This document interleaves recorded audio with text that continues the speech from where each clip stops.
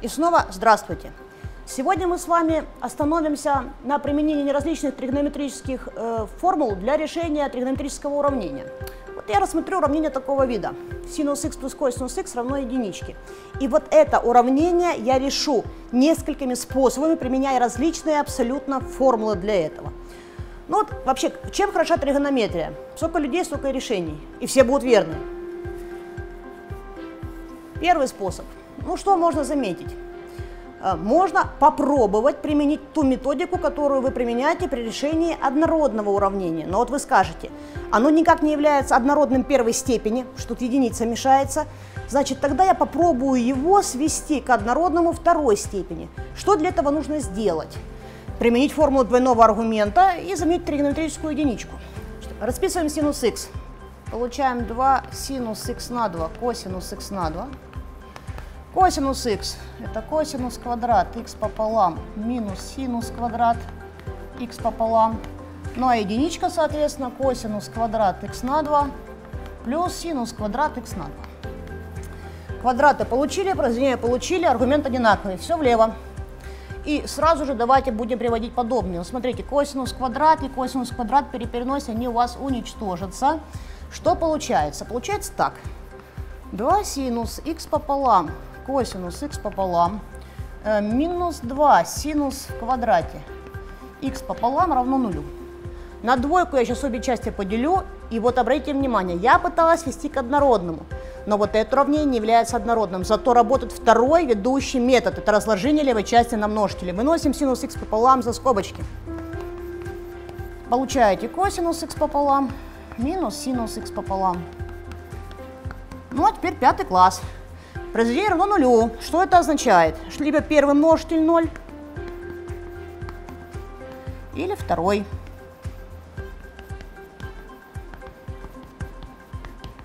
Простейшее уравнение, значит, x пополам. Это пика, где k целое число, откуда x это 2 пика. А это однородное уравнение первой степени. Поделим на косинус. Получаем, что у нас единичка минус тангенс х пополам. Это нолик. Или же тангенс х пополам. Это единица. Откуда х пополам? Это арктангенс 1 π на 4. Меняем буковку независимое уравнение плюс πn, где n целое. А х отсюда π на 2, умножаете обе части на 2, плюс 2 Pn, где n число целое. Вот вам один подход к решению этого уравнения. Ну, давайте теперь попробуем по-другому. Значит, вот что вы должны были уже заметить. Когда вы решаете любое уравнение, ваша задача прийти к одному аргументу и желательно к одноименным функциям. Вот аргумент у вас уже одинаковый, здесь x и тут x, а вот функции разноименные.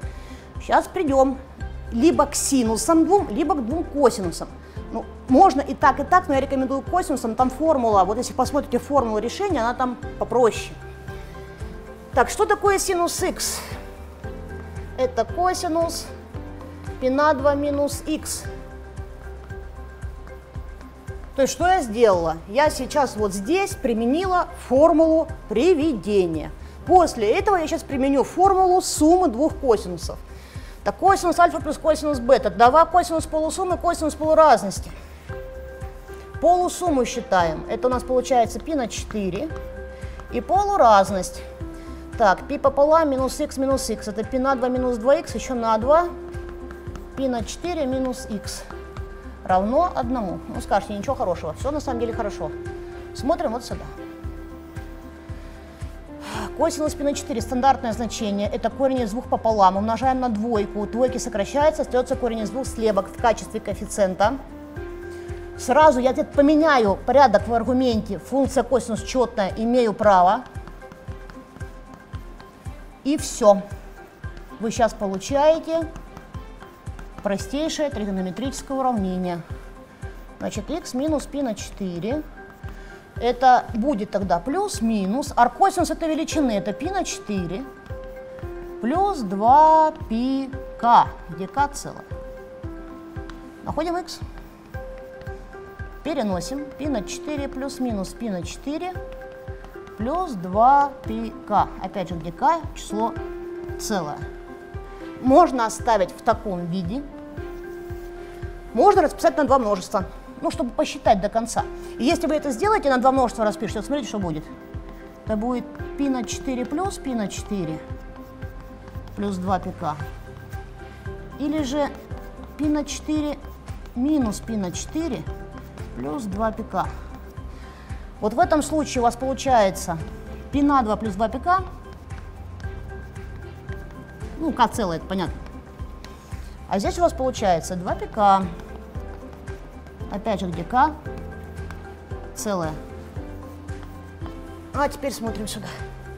Все то же самое.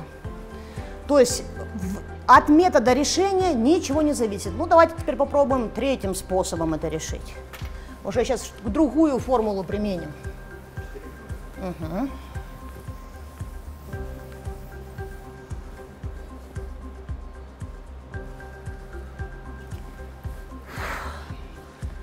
Значит, что я буду делать? Я перенесу сюда косинус. Но тогда справа у вас стандартная формула. Это 2 синус квадрат х пополам. Разложен двойной угол. Перенесемся в одну сторону. На двойку разделили, синус вынесли за скобочки. Как общий множитель.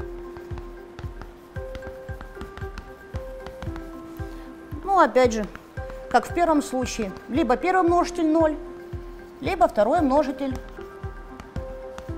0. И дальше решение будет совпадать с первым случаем. Следующий прием.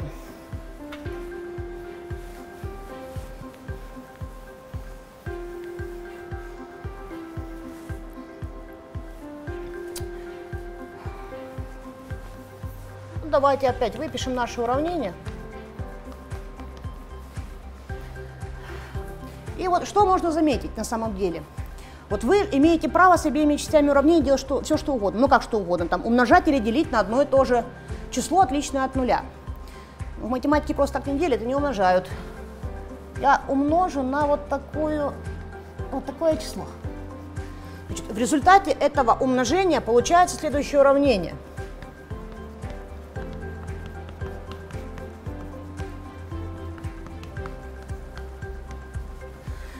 Ну, на первый взгляд сейчас стало еще хуже. На самом деле нет. Почему? Вот это косинус угла π на 4 радиана, это синус. Или, кстати, можно наоборот.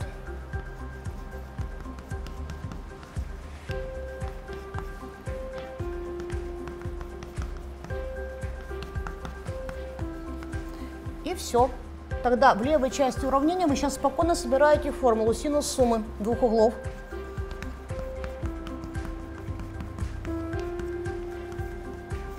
Получаете в результате простейшее тригонометрическое уравнение, откуда найдем сейчас решение.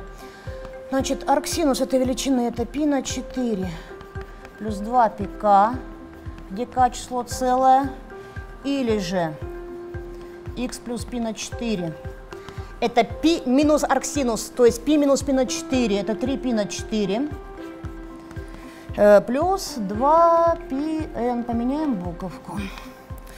Так, перенесли. Эти компоненты у вас уничтожатся. Остается 2 пика, где К число целое.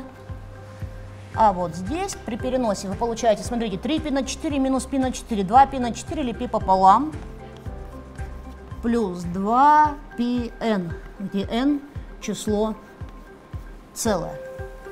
На самом деле это уравнение можно решить еще минимум тремя способами.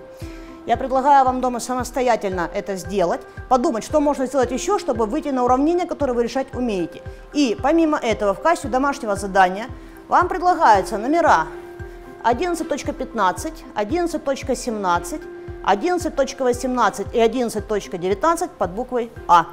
Желаю успеха!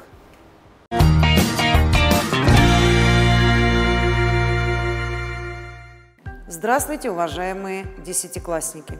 Сегодня мы с вами поговорим о рассказе Антон Павловича Чехова «Ионыч», написанном в 1898 году. Центральной темой рассказа является протест против пошлости, обывательщины, духовного мещанства самого рождения человека. Тема эта раскрывается в двух планах. истории жизни самой талантливой семьи города С. Туркиных и изображением истории превращения доктора Старцева в Ионыча. События происходят в губернском городе С. По мнению горожан, здесь есть культурная жизнь, библиотека, библиотека клуб, театр. Устраиваются балы, живут интересные культурные люди. Чтобы дать представление о здешней жизни, писатель знакомит нас с семьей Туркиных, самой образованной и талантливой во всем городе. Чехов доверяет читателю и, как всегда, не дает прямых оценок. Но постепенно узнавая членов этой семьи, мы понимаем, как они, в сущности, бездарны и скучны. Вера Иосифовна пишет романы о том, чего не бывает в жизни. Иван Петрович пользуется э, давно заученным набором острот. Э, Катерина Ивановна бездарно, неталантливо не вкладывает в свою музыку чувства. Мы видим заурядность членов семьи, переходящую в обыкновенную пошлость. Но если лучшая семья в городе такая, то какими же должны быть все остальные? Чуть позже э, Чехов, простите, даст зарисовку и этих жителей. Пока с обывателем играешь в карты или закусываешь с ним, то это мирный, благодушный, даже не глупый человек – но стоит только заговорить с ним о чем-нибудь несъедобном, например, о политике или науке, как он становится в тупик или заводит такую философию, тупую и злую, что остается только рукой махнуть и отойти. Вот э, в таких условиях оказывается молодой, талантливый Дмитрий Ионович Старцев, главный герой произведения. И мы тогда должны задать следующий вопрос. Каким же характером, какими качествами должен обладать человек, чтобы в этой рутине, в этой пошлой жизни не потерять себя. И есть ли эти качества характера у старцев? Оказалось, нет. Для описания медленного, прижизненного умирания человека в человеке Чехов расставляет своеобразные вехи на пути э, доктора Старцева.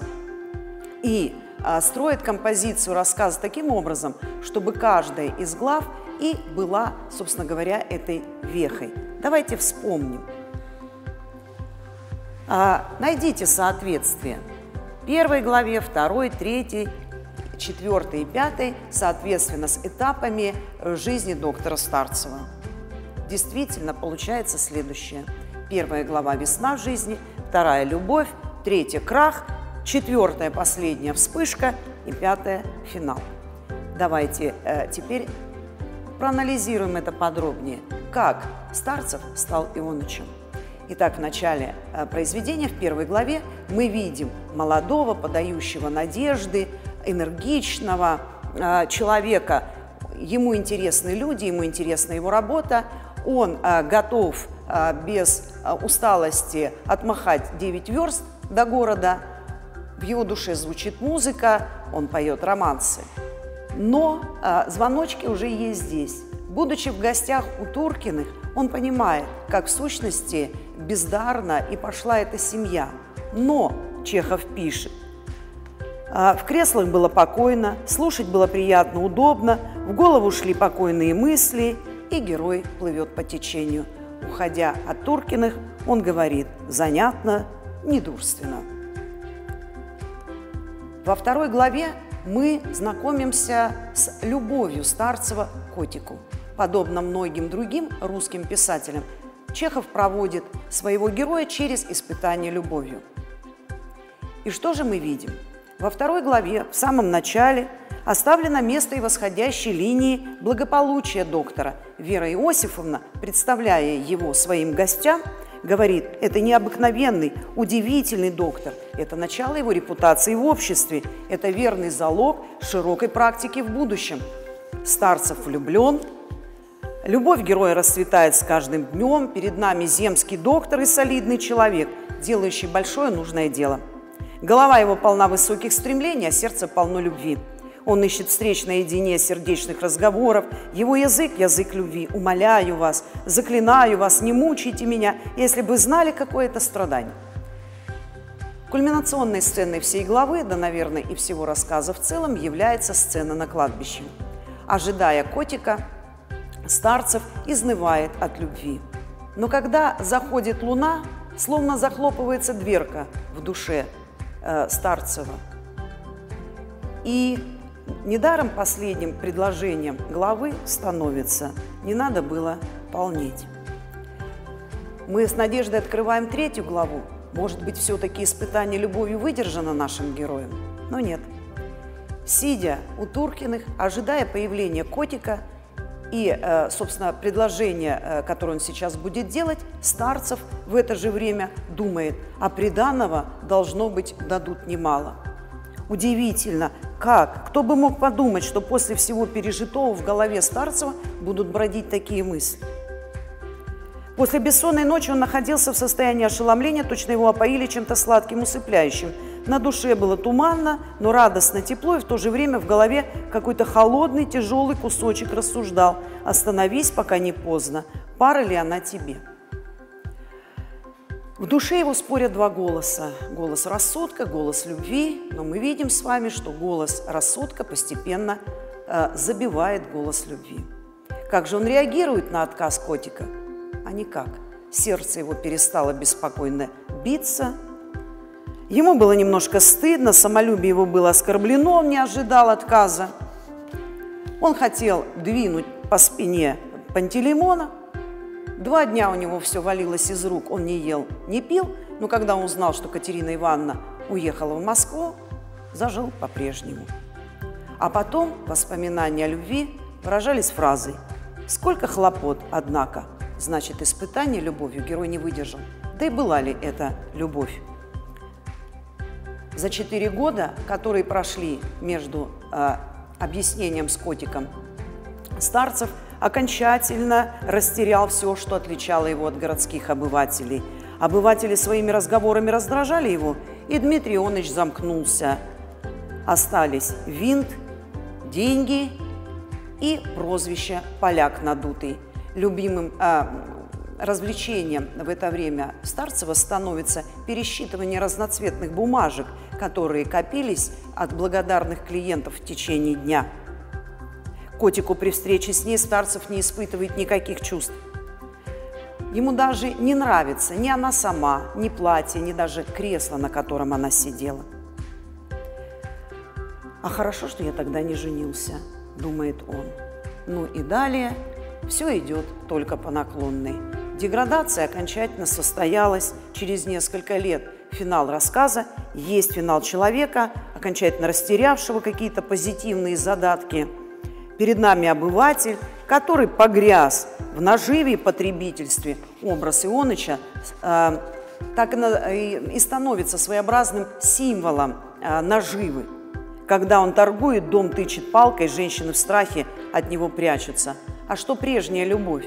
Вспомним поразительную по силе деталь, свидетельствующую об окончательной утрате им э, какого-либо чувства к котику – это вы про каких Туркиных? Это про тех, что дочка играет на фортепианах? При помощи художественной детали Чехов мастерски показывает, с одной стороны, рост материального благосостояния э, Старцева, а с другой – его моральную деградацию. Лестница жизни Дмитрия Ионовича привела его не вверх, а вниз. При этом а, в конце произведения он становится равнозначен той семье, которая не нравилась ему своей пошлостью мещанством в начале. Туркины – бессмысленны, безнравственные их праздные затеи, безнравственное, омерзительное, бездушное стяжательство Ионыча. Но Чехов не снимает ответственности с человека. Дело же не только а, в том, что он поддался среде, но у него не было сопротивления пошлости, лени, мещанству, эгоизму. И в рассказе словно звучит голос писателя, призывающий «Не поддавайтесь губительному влиянию уродливой среды, вырабатывайте в себе силу сопротивления обстоятельствам, не предавайте светлых идеалов молодости, не предавайте любви, берегите в себе человека». В качестве домашнего задания, а, в зависимости от того, каким учебником вы а, пользуетесь. Я хотела бы предложить вот страницы, э, перечитать еще раз анализ, э, прочитать рассказ «Студент» Антон Павловича Чехова, это наше следующее занятие, Ну и можно при помощи интернет-ресурсов э, проверить себя по усвоенности материала. На этом наш урок окончен. Всего доброго, до новых встреч!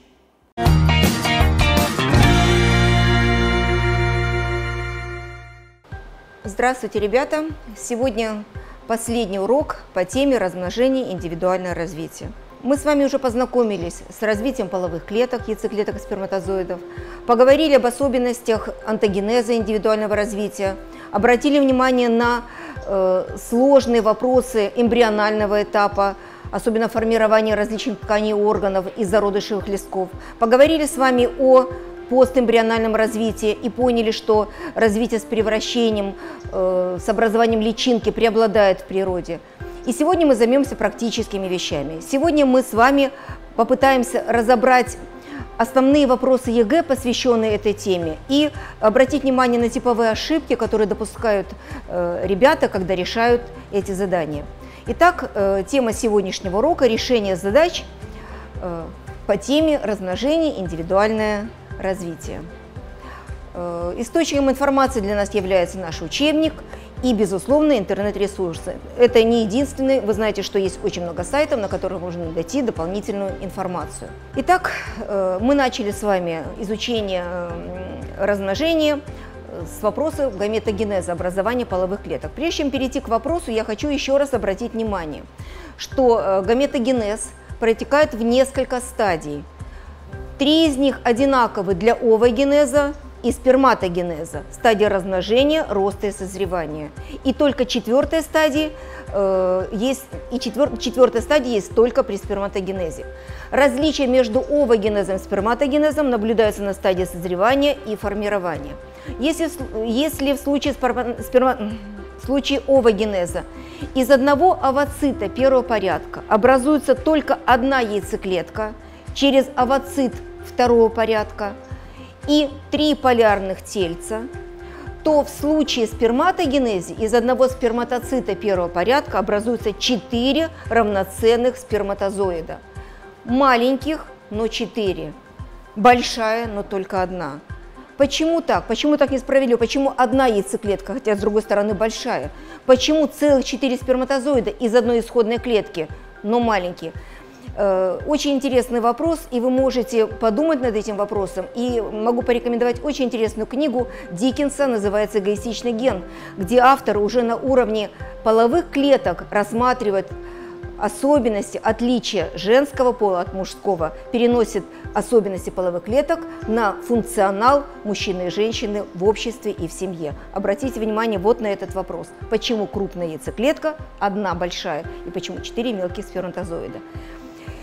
Напоминаю еще раз, что на стадии размножения происходит митоз, не меняется набор хромосом, остается диплоидным 2N, 2C, и клетки называются овагонии. На стадии роста клетка не делится, важнейшее событие – репликация ДНК. Удваивается хромосома. Каждая хромосома состоит из двух хроматид, одинаковых двух сестринских хроматид – Э, говорим хроматида, подразумеваем ДНК, потому что ДНК – это основа хроматида, основа хромосомы. Итак, стадия роста. В начале стадии роста, еще раз обратите внимание, это очень важный момент, набор у овагонев 2N, 2C. В конце стадии роста, в результате репликации, набор хромосом меняется, 2N остается диплоидным, но количество ДНК увеличивается в два раза, 2N, 4C. И вот здесь типовая ошибка. Ребята, э, очень часто э, пишут, когда рассматривают количество хромосом, 56N, 56C. N, C относится только к общему написанию набора хромосом 2N, 4C. Если мы говорим о количестве хромосом и ДНК, забываем N. Не бывает 56N, бывает 56 хромосом. Не бывает 112, например, C, бывает 112 ДНК. N и C касается только общего названия наборов хромосом и ДНК. Стадия созревания мейоз. Еще раз обратили внимание, что после первого деления овоцит второго порядка имеет набор хромосом 1N, 2C. Гаплоидный набор удвоенные хромосомы. То же самое у сперматоцита второго порядка. Э, у яйцеклетки у сперматозоидов набор хромосом N, 1N, 1C. Всегда в итоге любого деления количество хромосом и количество ДНК совпадает. Вот это очень важный момент. И вот исходя уже из того, что мы с вами сказали, мы сейчас разберем одно из самых сложных заданий формата ЕГЭ.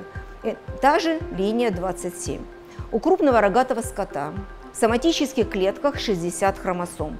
Определите число хромосом и посмотрите молекул ДНК в клетках яичников при овогенезе, в интерфазе перед началом деления и после деления миоза 1.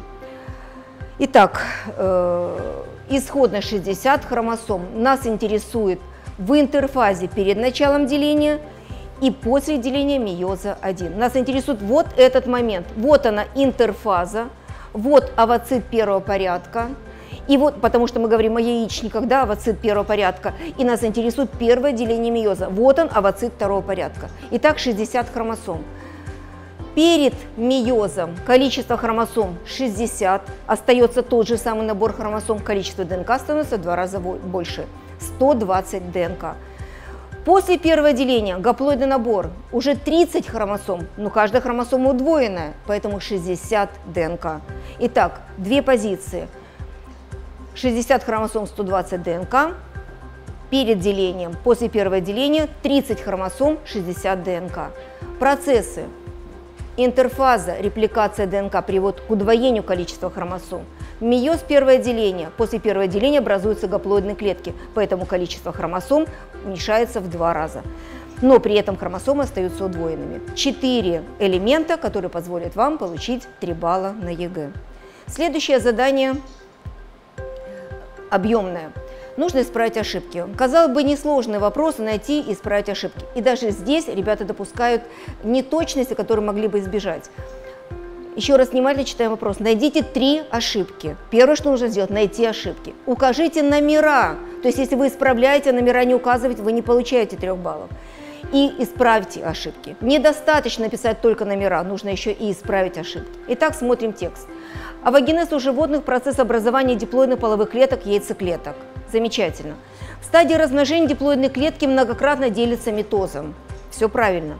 Третье. В следующей стадии роста деления клеток не происходит. И тоже правильно – третьей стадии, четвертое предложение, созревание, происходит одно миотическое деление. Нам это не нравится. Мы знаем, что есть два миотические деления. И мы не пишем слово «два». Нет, мы пишем полностью ответ. В третьей стадии созревания происходит два миотических деления. Из каждой исходной клетки в конце гаметогенеза развиваются по четыре полноценные гаметы яйцеклетки – мы ставим цифру 5 неправильно и пишем, что из каждой клетки в конце гаметогенеза развивается одна полноценная яйцеклетка и три полярных или редукционных тельца. На стадии созревания гамет заканчивается овогенез.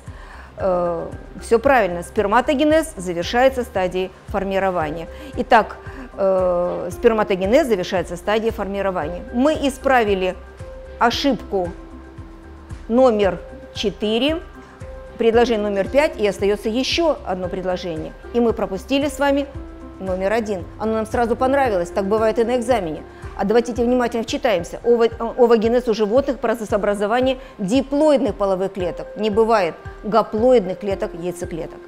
Итак, мы нашли три ошибки. Первая, четвертая и пятая. Написали номера и полностью исправили предложение.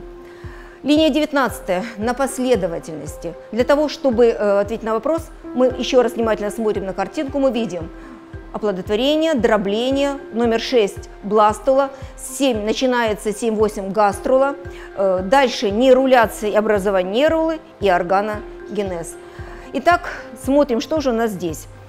Э, наверное, первое образование бластомеров.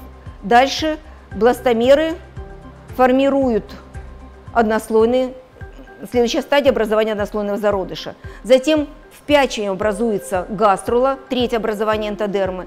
Затем происходит образование мезодермы и дифференцировка органов. Таким образом, правильный ответ 5, 1, 3, 2, 4. Следующий вопрос. На соответствие из какого листка э, что образуется? Болевые рецепторы с внешней средой связано, эктодерма. Волосяной покров На поверхности эктодерма, лимфа кровь не на поверхности, все, мезодерма. Жировая ткань не на поверхности, мезодерма. Ногтевые пластинки, да, ногти на поверхности, эктодерма. Вот так в принципе, не знаю, только понимая, что такое экто, можно отвечать на этот вопрос. Ну и э, последний вопрос – очень важный вопрос линии 8, мы его разбирали, когда говорили о постэмбриональном развитии. Это один из самых сложных вопросов. Э, установить соответствие между отрядами насекомых и типами их развития. Итак, отряд чешуекрылые, бабочки, личинка гусеница с полным метаморфозом, двукрылые, мухи, опарыши с полным метаморфозом, жесткокрылые с полным, прямокрылые с неполным, перепончатокрылые муравьи осы с полным метаморфозом и стрекозы с неполным метаморфозом. Благодарю за внимание, желаю вам удачи и не болейте.